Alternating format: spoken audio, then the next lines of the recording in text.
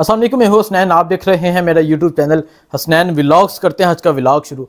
आज का व्लॉग उन तमाम कारकुनों के लिए पैगाम है, जो लोग इमरान खान की एक तस्वीर देखना चाहते हैं, जो इमरान खान का एक दीदार करना चाहते हैं, जो लोग कहते हैं कि दीदार यार नसीब हो, उन लोगों को इमरान खान का दीदार नसीब होने वाला है, वो जल्द ही इमरान खान को देखने वाले हैं, वो जल्द ही देखने वाले हैं कि इमरान खान किस हाल में है, इमरान खान का चेहरा किस तरह दिख रहा है। जज अबुल असनाद साहब, जो इमरान खान का साइफर केस है उसकी समाप्त करेंगे। जज साहब ने बहुत सख्त ऑर्डर किए हैं कि इमरान खान को चार अक्टूबर वाले दिन अदालत में पेश किया जाए। और मेरी कुछ वकला से बात हुई है। इमरान खान की जो वकला टीम है, उनसे बात हुई है। उनका कहना है, हमें उम्मीद है इमरान खान को अदालत में पेश किया जाएगा।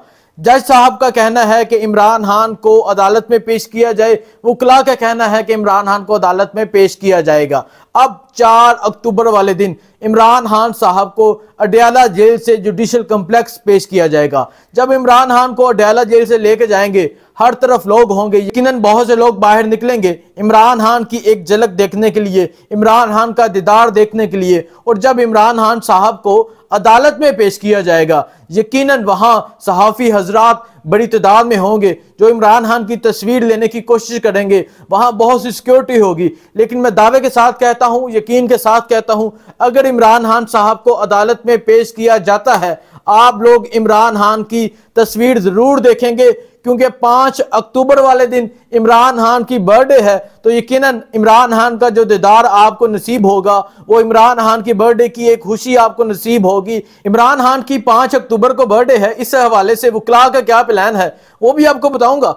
अब बात यह है कि बहुत से पाकिस्तानी जो पाकिस्तान में बसने वाले हैं, जो ओवरसीज पाकिस्तानी हैं, वो इमरान खान की एक झलक देखना चाहते हैं। जब इमरान खान साहब को अडयाला जेल में शिफ्ट किया गया था, हर तरफ़ सिक्योरिटी थी, तब भी टूल प्लाजा पर लोग पहुँचे, मैंने उसकी कवरेज की। तब अडयाला जेल के बाहर लोग पहुँचे, उन्होंने उस जो बख्तरबंद गाड़ी है, उस पर फूल निछावर किए और इतनी तादाद में फूल निछावर किए गए कि सड़कों पर फूल नज़र आ रहे थे उस दिन इस्लामाबाद में। उन्होंने बताया कि आप जो मर्ज़ी कर ले, इमरान खान उनके दिल की दरकन है, इमरान खान उनका हीरो है, इमरान खान उनका लीडर है और यकीनन अगर चार अक्टूबर को इमरान खान को अदालत में पेश किया गया, जितनी मर्ज़ी सख्तियाँ हुई, मैं कहता हूँ कारकुनान निकलेंगे।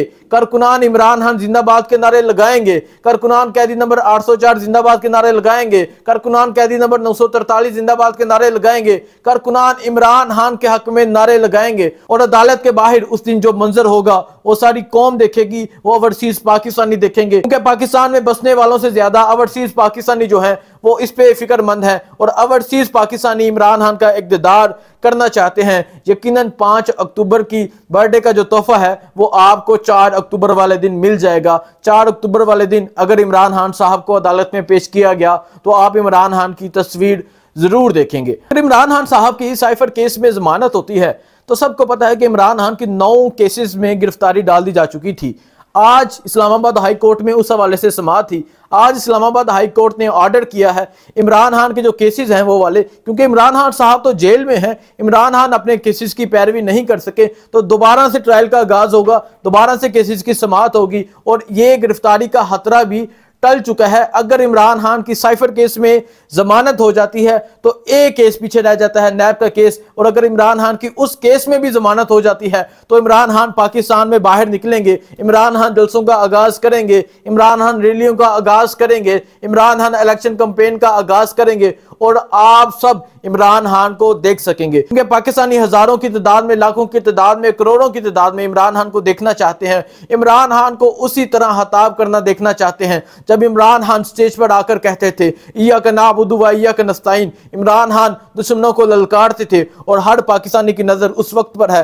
कब ये वक्त आएगा? कब इमरान खान साहब स्पीच करेंगे? कब इमरान खान साहब प्रेस कॉन्फ्रेंस करेंगे? यकीनन वकला से बात हुई है। वकला का कहना है कि जल्द ये मौका आने वाला है और आज का जो इस्लामाबाद हाई कोर्ट का फैसला आया, वो कुछ आइंदा फैसला है और यकीनन पाकिस्तान तहरीक इंसाफ के कारकुनों के लिए वो एक बहुत बड़ी खुशबरी है।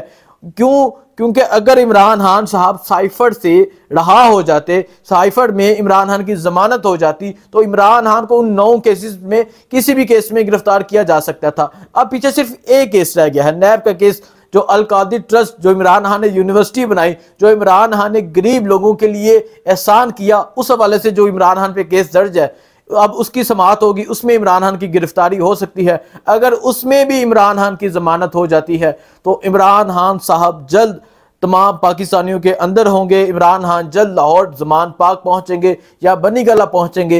ये फैसला इमरान खान साहब खुद ही करेंगे। बस बात इतनी सी है कि इमरान खान साहब डटे हुए हैं। इमरान खान साहब का कहना है कि वो किसी भी सूरत झुकने को तैयार नहीं।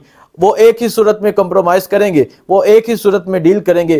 पाकिस्तान में साफ़ और शफाफ इलेक्शन हो, जो होते नज़र नहीं आ रहे। आप सब जानते हैं, पाँच अक्टूबर को इमरान खान की बर्थडे होती है। वकला का क्या प्लान है, मैं आपको बताता हूँ। वकला एक बड़ी तादाद में अडयाला जेल के बाहर पहुँचेंगे और पाँच अक्टूबर वाले दिन अडयाला जेल के बाहर इमरान खान की बर्थडे का केक काटेंगे। इमरान खान को बर्थडे विश करेंगे और वहाँ इमरान खान के हक में नारे लगेंगे। वकला ने हमेशा इमरान खान का साथ दिया। अगर अब पाकिस्तान तहरीक इंसाफ में कोई नज़र आता है? अगर अब कोर्ट्स में नज़र आता है कोर्ट के बाहर कोई नज़र आता है, कोई कन्वेंशन होता है, कोई रैली होती है, कहीं भी कुछ होता है तो वकला नज़र आते हैं। वकला इमरान खान के ऐसे साथी हैं, जिन्हें कभी भी किसी भी जगह पर इग्नोर नहीं किया जा सकता। वकला का जो इस तहरीक में करदार है, वकला का जो करदार है, वो किसी का करदार नहीं। वकला इस मुश्किल वक्त में इमरान खान के साथ डट कर खड़े हैं। जिस तरह लाहौर में निकलते हैं, जिस तरह इस्लामाबाद में निकलते हैं, और जिस तरह रोज़ाना की बुनियाद पर कोर्ट्स में पहुँचते हैं, जिस तरह इमरान खान के केस की पैरवी करने पहुँचते हैं, जिस तरह वो प्रेस कॉन्फ्रेंस करते हैं, जिस तरह वो आपको आगाह किए रखे हैं अब कोई भी पाकिस्तान तहरीक इंसाफ की सीनियर लीडरशिप में नज़र नहीं आता, वो कला ही नज़र आते हैं। आप देखते ये हैं कि पाँच अक्टूबर वाले दिन कितनी बड़ी तादाद में वकला अडयाला जेल के बाहर पहुँचते हैं और कितनी तादाद में कारकुनान पहुँचते हैं। क्योंकि कारकुनान का भी प्लान है, वो वहाँ पहुँचेंगे। इमरान खान की बर्थडे सेलिब्रेशन करेंगे। आपका क्या प्लान है? आपने कमेंट में बताना है, आप किस तरह इमरान खान की बर्थडे सेलिब्रेट करेंगे? मुझे दीजिए इजाज़त, अल्लाह हाफिज़।